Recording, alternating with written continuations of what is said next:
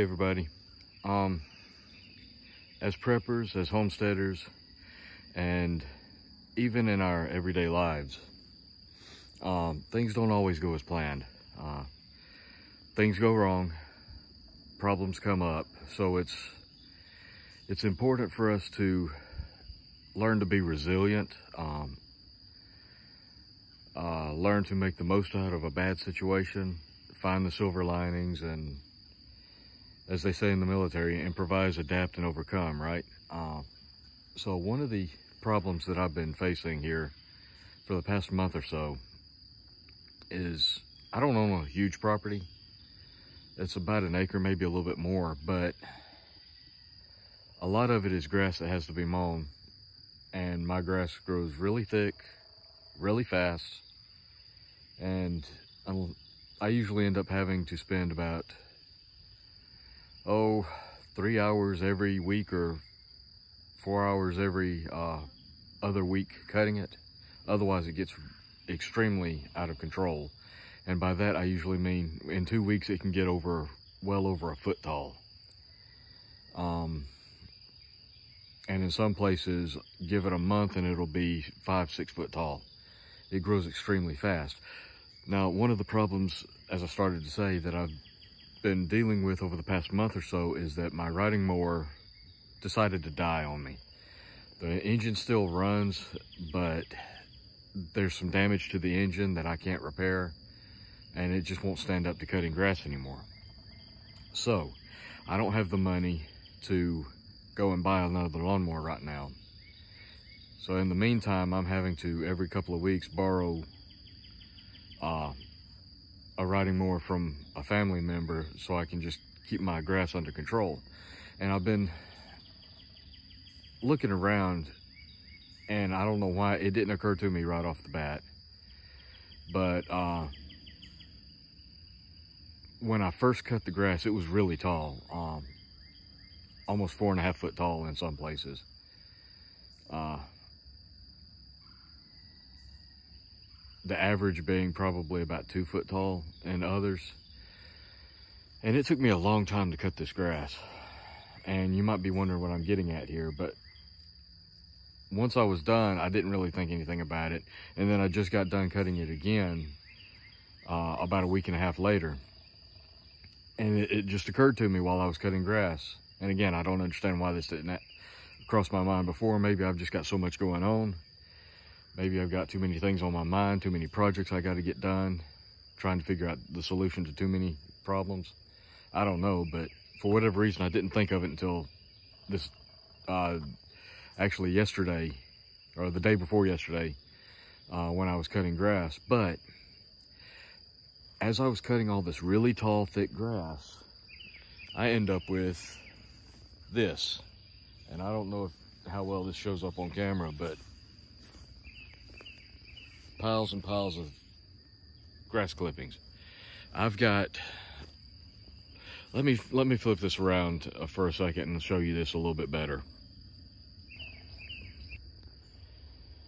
Okay, so as you can see, that's a decent pile of clippings.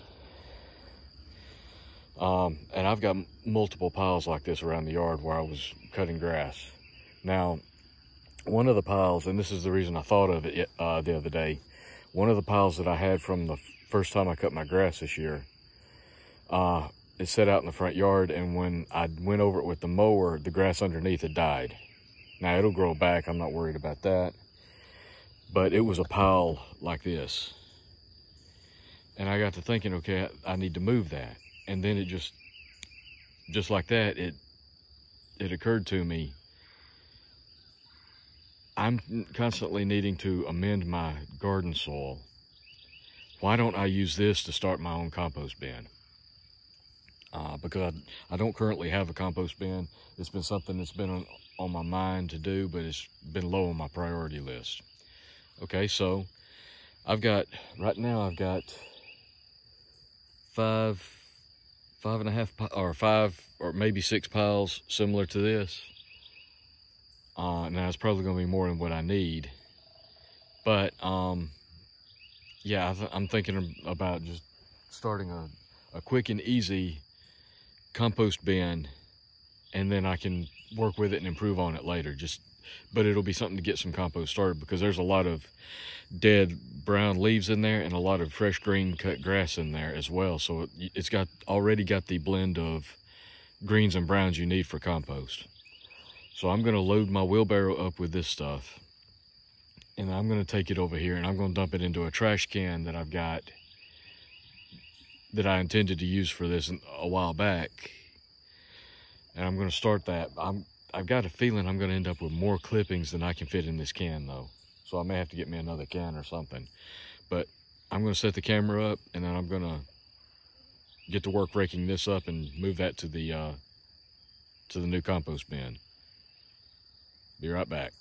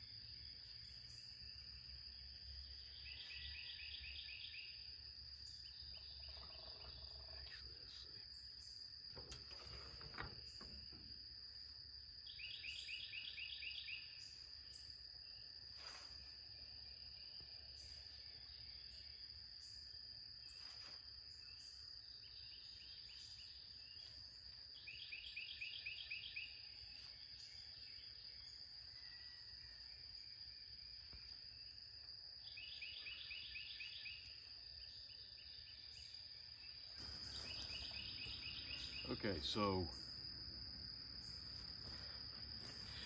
all right, so uh, what I'm gonna do is I'm just gonna start piling this in this trash can. Uh, now again, this trash can, I bought it a few years ago for a project that I really never got around to doing, and I decided to repurpose it to a compost bin. Uh, but since then, it's just been sitting outside, so I'm not really worried about anything with this trash can, but I'm gonna start packing this grass clippings down into this trash can and I'm gonna soak them down with water, get some more and put in and just keep layering it, soaking each layer as I go.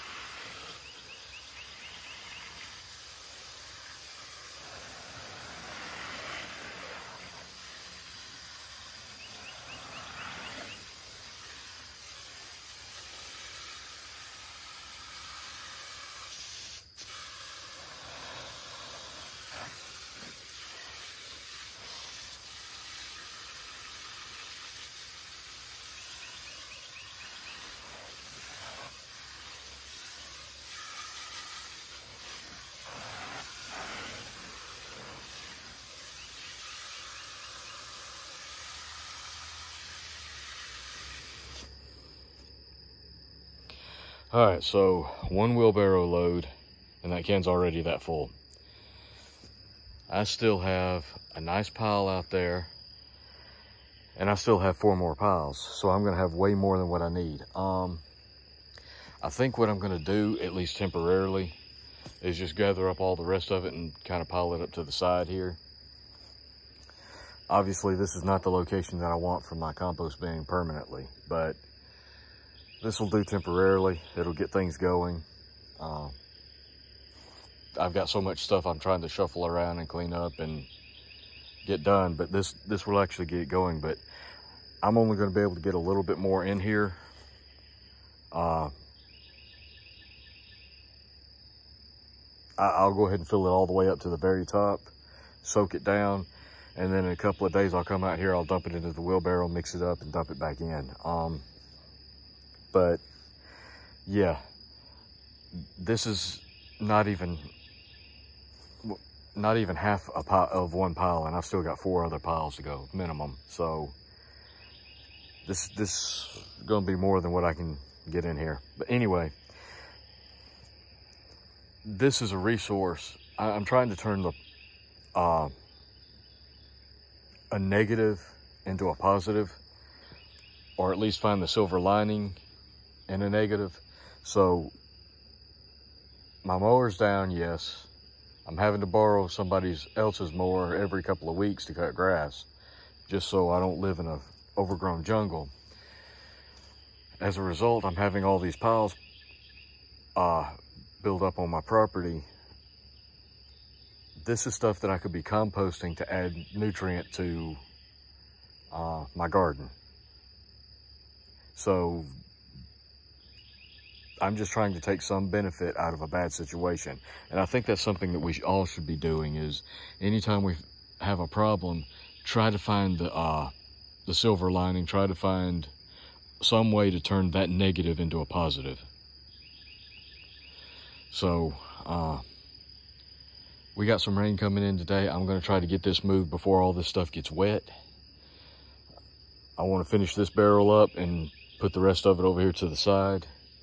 And then as it breaks down, I'll just add off the ground into the, here for right now, I guess, uh, until I can get me another bin or something.